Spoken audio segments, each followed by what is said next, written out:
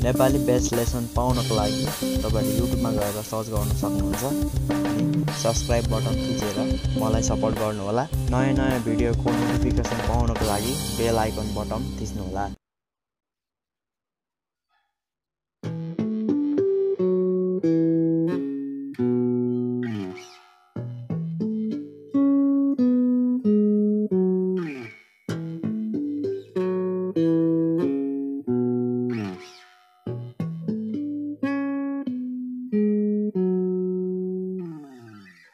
Guys welcome to Nepali bass guitar lesson आज हामी हार्मोनिक्सको बारेमा सिक्न जाँदैछौँ।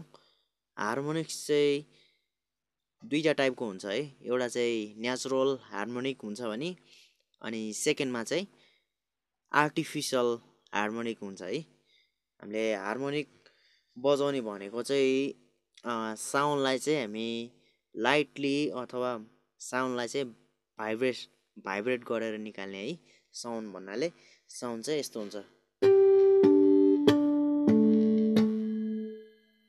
यस्तो टाइपको हामी भाइब्रेट गरेर साउन्ड चाहिँ निकाल्छौँ है। हामीले जसलाई चाहिँ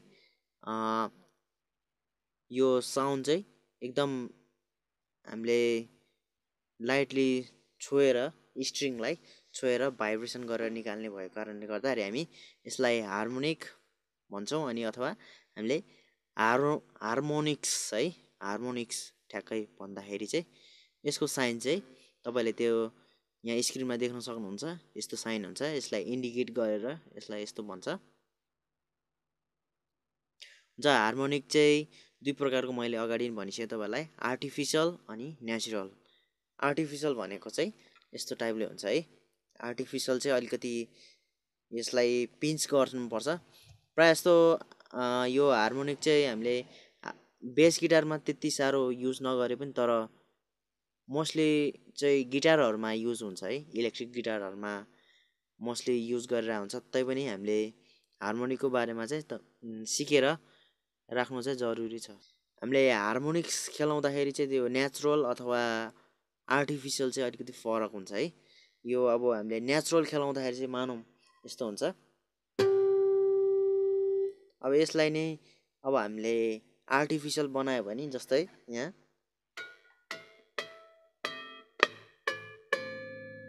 यस्तो टाइपको आर्टिफिसियल हुन्छ अनि जसले हामीले पिकले पनि गर्न सक्छौँ। पिक लिएर हामीले यसले यहाँ यसले छुवाउँछौँ तारमा स्ट्रिङमा है यसरी। यहाँ तपाईँले देख्न सक्नुहुन्छ। यो यहाँ ठ्याक्कै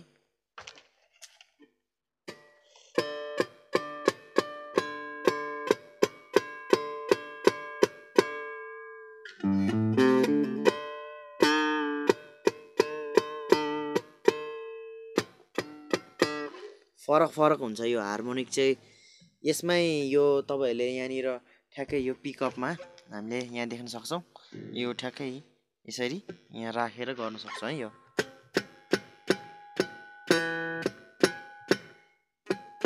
फरक फरक हुन्छ यहाँनिर। ठ्याक्कै यहाँनिर अलिक फरक हुन्छ यहाँ माथि फरक हुन्छ यहाँ माथि फरक हुन्छ। यो चाहिँ हामीले आर्टिफिसियलमा गर्दछौँ। यसरी गर्दा नि हुन्छ यहाँ माथि छुट्टै हुन्छ।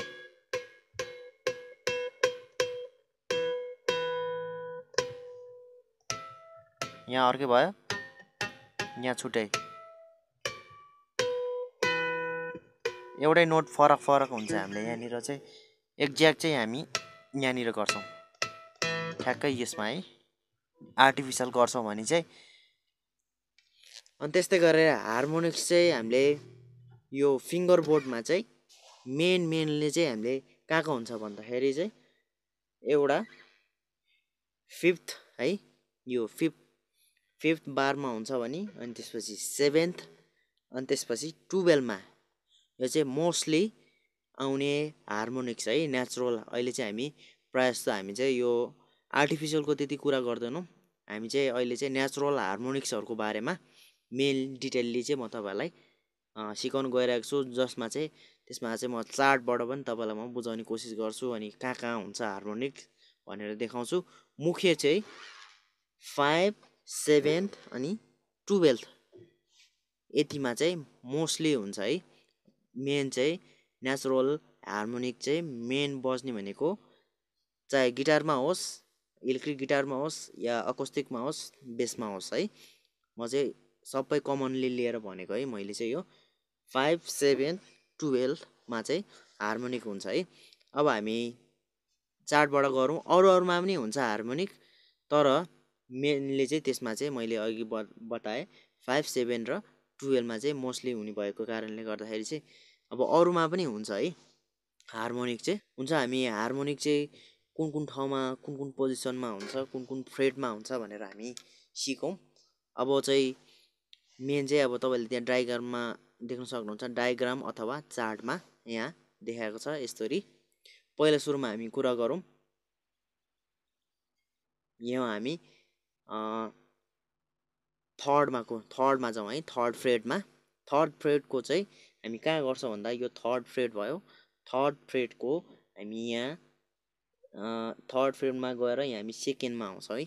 सेकेन्ड फ्रेडको सेकेन्ड फ्रेडमा चाहिँ हामी फोर्थ स्ट्रिङबाट सुरु गरौँ। फोर्थ स्ट्रिङमा चाहिँ यो ठ्याक्कै यो बार छ नि। यो बारबाट सुरु हुन्छ है। यहाँ डाइग्राम डायग्राम अथवा चार्टमा तपाईँले देख्नु भइरहेको छ। हामी यहाँबाट गर्छौँ। यो यहाँबाट बजाउँदाखेरि चाहिँ कुन कुन नोट हुन्छ भनेर म सर र यहाँसम्म हामी कुरा गर्छौँ। है पहिला सुरुमा चाहिँ यहाँ अब हामी यो चाहिँ सेकेन्ड फ्रेडको गर्दैछौँ। सेकेन्ड फ्रेड यो पहिला थर्ड स्ट्रिङ थर्ड फ्रेडमा आएर हामी सेकेन्ड फ्रेडको यो ठ्याक्कै फ्रेडमै गर्छौँ। तर हामी लाइटली मात्रै है हल्का मात्रै छुन्छौँ यसलाई हल्का मात्रै छुन्छौँ। यसमा चाहिँ इएडिजी बच्छ है। इएडिजी यति नोट बच्छ। त्यस्तै गरेर हामी थर्डमा आउँ अब। थर्डमा चाहिँ डिजी सिएफ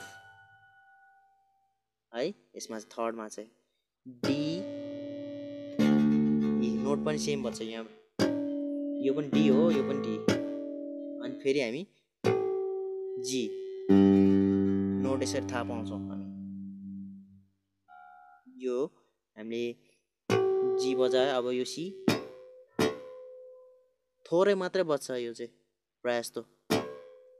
अनि एफ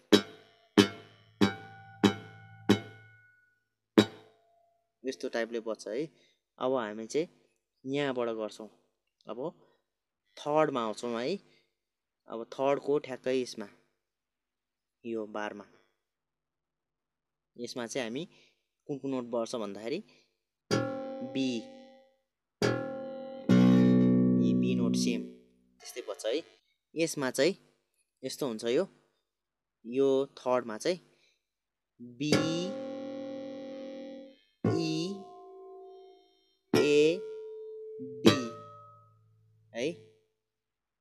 त्यसै गरेर हामी अब यहाँ फोर्थमा आउँछौँ है फोर्थमा। फोर्थमा चाहिँ के के बच्छ भन्दाखेरि जिसाप सिसाप एपसाप बी नपता हामी हेरौँ एकचोटि। यो भनेको जिसाप जिसाप सिसाप एपसाप अनि यो बी है यसमा। यसमा चाहिँ। अब त्यस्तै गरेर हामी फिफ्थमा हेर्छौँ है। फिफ्थमा चाहिँ फुल्ली बज्छ नोट। यसमा चाहिँ इएडिजी नै बज्छ है यो। इएडिजी यति है हार्मोनिक। त्यस्तै गरेर अब हामी सिक्समा जाउँ। सिक्समा चाहिँ यस्तो छ। डिजी अनि सिएफ यो चाहिँ हामीले यहाँ बजाएको है डिजिसिएफ यहाँ जस्तो बजा यहाँ पनि सेम यहाँ सिक्समा पनि। डिजिसिएफ है अब सेभेनमा जाउँ। सेभेन फ्रेडमा चाहिँ फेरि बिइएडी बज्छ है। अब हामी त्यस्तै गरेर एट फ्रेडमा जाउँ है। एट फ्रेडमा चाहिँ फेरि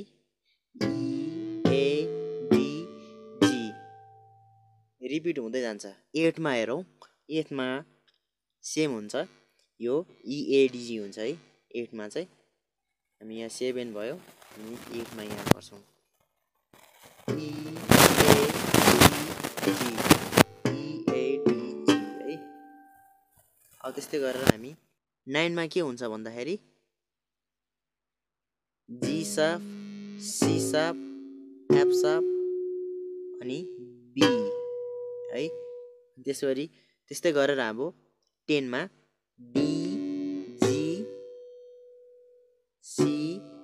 एफ है। यहाँ ठ्याक्कै हुन्छ। अब त्यस्तै गरेर हामी टुवेल्भमा जाउँ एकैचोटि। टुवेल्भमा टुवेल्भमा अब त्यसरी नै रिपिट हुन्छ। सबै सबैहरू रिपिट हुन्छ। रिपिट हुन्छ भन्नाले यो टुवेल्भमा पनि फेरि मेन चाहिँ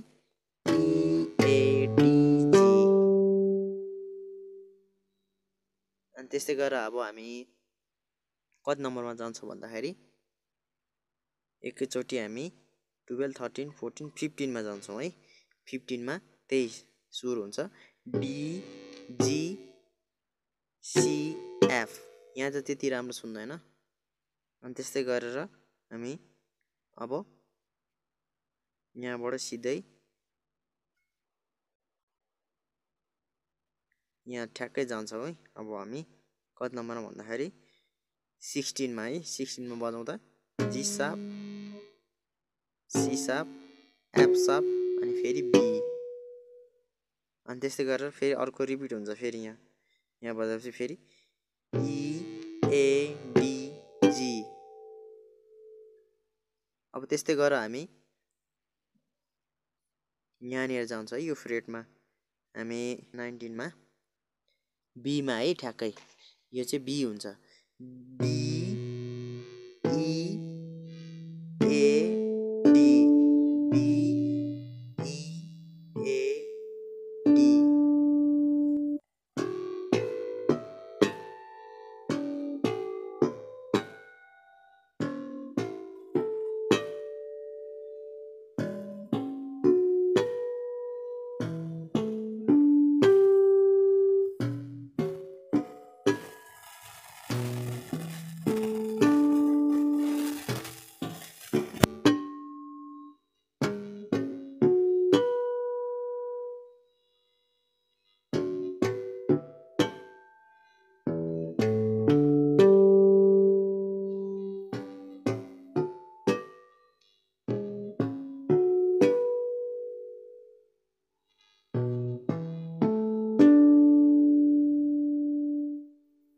यसरी नै यो केसहरूमा चाहिँ अब हामीले हार्मोनिक चाहिँ तपाईँले देख्न सक्नुभयो। मैले चार्टमा गरेर देखाएँ।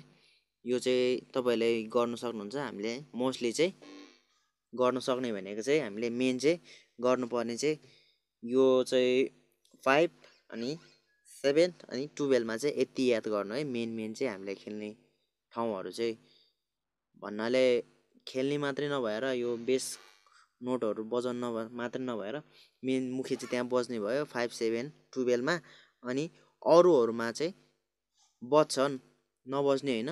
हार्मोनिक मैले कुन कुन ठाउँमा कुन कुन नोटहरू हुन्छ भनेर सबै डिटेलमा मैले तपाईँहरूलाई बताइदिएँ। यसरी नै गर्ने हो प्रायः जस्तो। हामीले याद गर्नुपर्ने हार्मोनिकहरू।